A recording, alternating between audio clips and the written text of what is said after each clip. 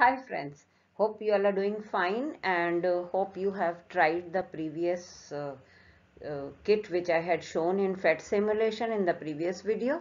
And this time I am showing you another kit uh, that is the AC kit and the purpose behind showing both the kits separately is so that you get the idea as to what is different between the AC kit and the DC kit. In the DC kit you are able to see what I had shown you that you can make a simple circuit, you can uh, use to uh, measure resistances and you can show the various uh, basics of uh, studying electric current or uh, what we study in electric current whereas in the uh, this video you will be able to sh show them the difference between or rather students will be able to learn the difference between the AC and the DC current. And uh, the visual is so strong that I can promise you that there can nothing be better than this. So watch the video.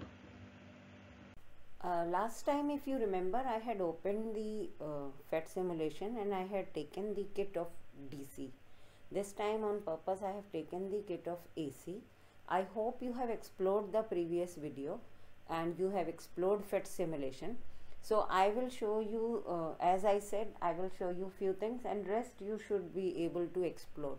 So for the previous video also I will show you what you can explore more. But for today, I will just take up this concept of AC and DC and uh, I have a feeling that if you ask students to connect it like this. The DC current with the wire and a bulb hmm? and as we did it last time a very simple circuit. This time I have just taken two batteries connected in series. And now I am taking another circuit wherein I will take a wire I will take a bulb.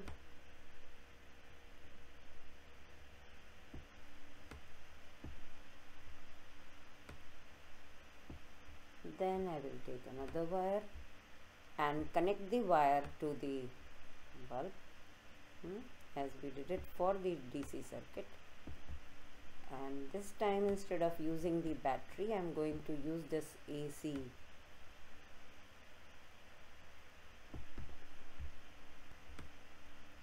voltage so that I am able to get the alternating current. And see when I connect what happens. Can you see that by just looking at the two things the DC circuit and the AC circuit a child can understand a straight difference between the AC current and the DC current? It is so visual and if you want to make it more clear you can increase the voltage of the battery so that it is more clear. And then on this side you can uh, increase the frequency here to make it appear better and increase the voltage. And voila see the difference between the AC current and the DC current. And then you can have the voltage chart across the two terminals hmm? you can have the current chart if you want as to how much current is flowing through the circuit and what is the pattern. So you will be able to watch it very clearly.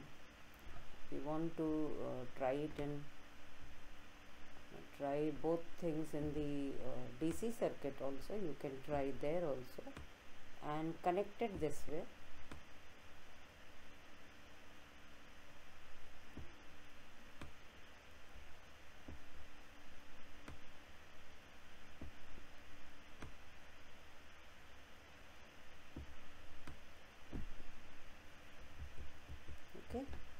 so you can measure the voltage. Use the voltmeter if this is beyond the range. You can use the voltmeter here and test how much voltage is there. And you can use the ammeter. You can also show how ammeter can be. Rather uh, you can just direct children uh, show a circuit and ask them to connect an ammeter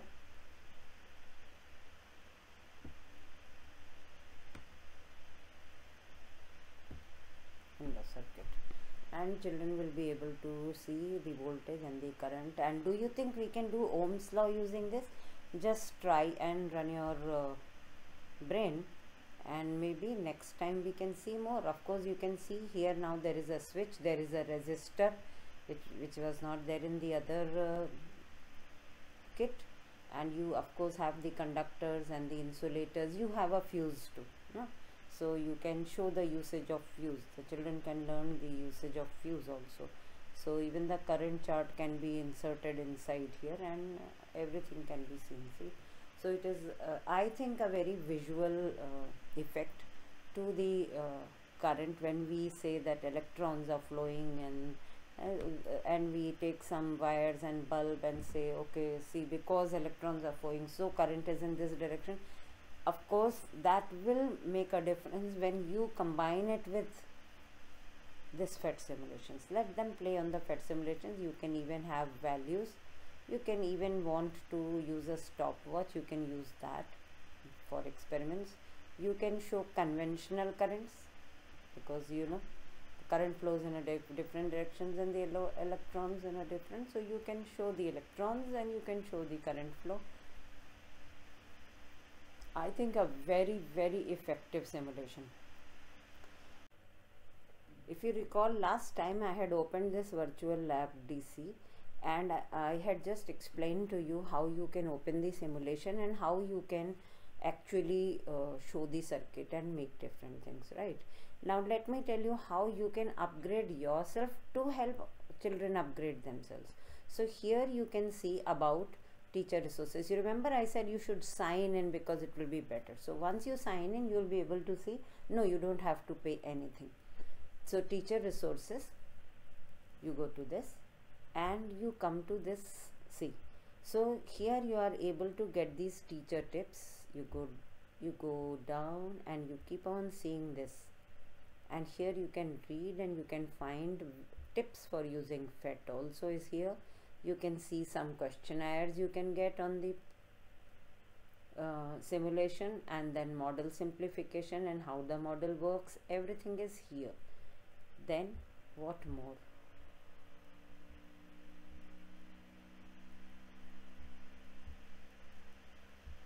So let me go back. And then I come to the teacher resources again. So here are teacher tips. Now activities in the activities you will be able to see see algebra based physics semester 1 lessons and clicker questions. This clicker questions is very interesting and let me pick up the uh, inquiry based uh, circuit construction kit the kit we did last time. If you have a look here you have clicker questions pptx and circuit challenge. You can open these worksheets and see. They will be very interesting and they uh, not only that you can utilize them as they are but you will also be able to make uh, as per customized as per your classroom and as per your children.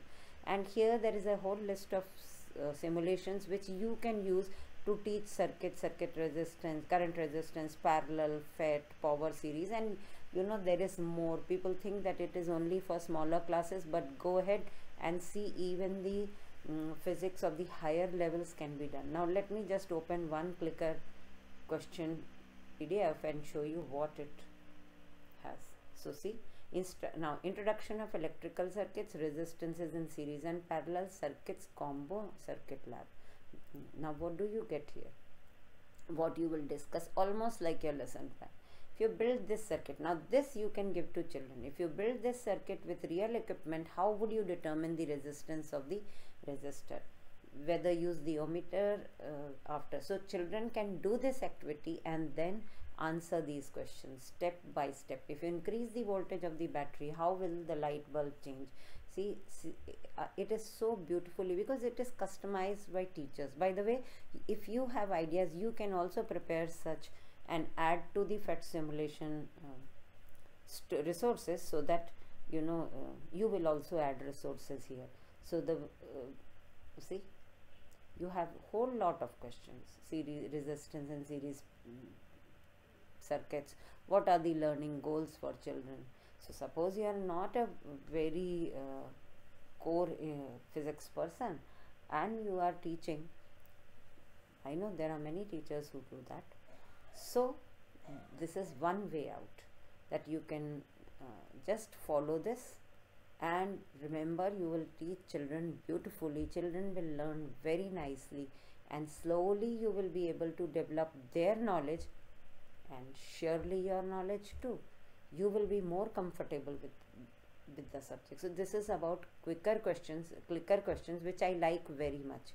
You can ask uh, make it in ppt you can supply them in onenote or you can give them in notebook and tell them that okay you have to answer these five questions today by playing on phet simulation. So hope you uh, are enjoying the video and i am very so see you again in the next episode of power learning with simulations. See you